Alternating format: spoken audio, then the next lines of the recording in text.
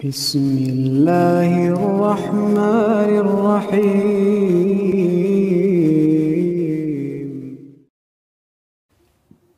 menganalogikan antara uh, solat dan uh, ibadah ya. Ibadah dan solat. Perhatikan sini. Uh, ibadah solat. Ada syarat. Syarat ada ada pembatal. Pembatal. Uh, syarat ibadah adalah tauhid. Sebagaimana syarat solat adalah toharoh. Kemudian pembatal ibadah adalah syirik. Sebagaimana pembatal solat adalah hadas. Ya.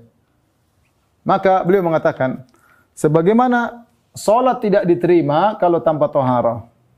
Dan solat bisa batal kalau ada hadas, maka demikian juga ibadah. Kau disuruh untuk beribadah kepada Allah ma khalaqtul jinna ma khalaqtul jinna wal insa illa liya'budun. Tadi tujuan kau diciptakan engkau diciptakan diciptakan adalah untuk beribadah.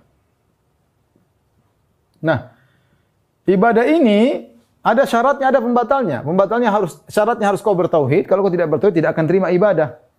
Sebagaimana orang-orang musyrikin kata Allah, "Ma mana'ahum an tuqbala minhum nafaqatuhum illa annahum kafaru billahi wa rasulih."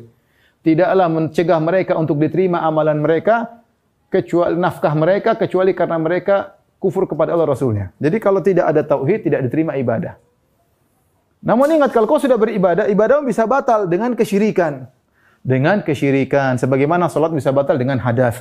Nah, maka mau tidak mau kau harus mengenal ini hakikat syirik, apa hakikatnya? Hakikatnya apa?